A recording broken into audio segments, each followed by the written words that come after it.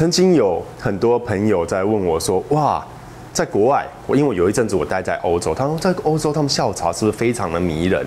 哦，他这种呃很棒的瓷盘，好几层这样堆叠起来，然后非常优雅，喝一杯红茶。”我说：“是啊，当然是很迷人啊，但是我们台湾也不输他们啊。他：“怎么说？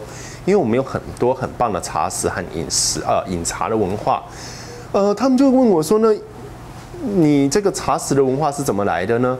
呃，我常常会用一个东西，大家耳熟能详，就是凤梨酥来当一个举例。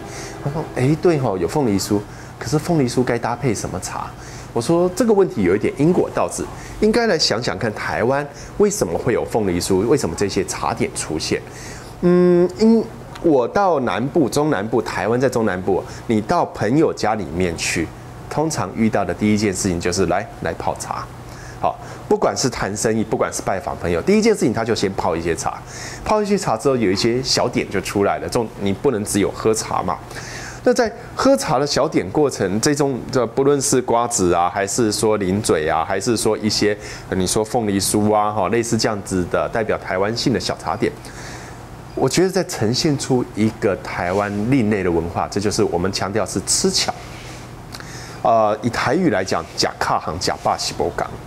那我们吃巧的文化，其实并不是，并不是说台湾我们都是那种吃到饱啊澎湃，在某一个层面上，我们是很注重这一种味道。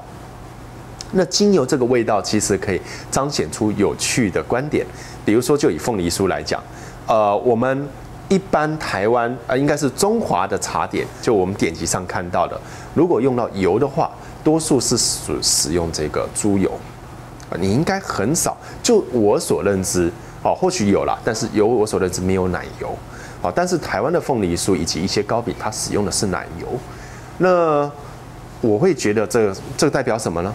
对我而言，这是代表台湾我们的这个文化是代表一个融合性的。因为就历史传承里面，我们是传自中国，但是在食物的演变里面，我们受到许多国家的影响，因此这个西方和东方的一个交融处，其实从茶点就可以看得出来。那他会说：哇，这个小地方这样子，西方和东方交融。它代表什么？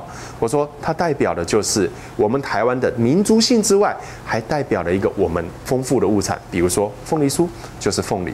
那台湾人的个性，食物个性展现在民族，我们没有那么锐利，不要那么 strong，所以我们用冬瓜把它稍微的凤梨的酸给稀释下去，很平和，很平淡。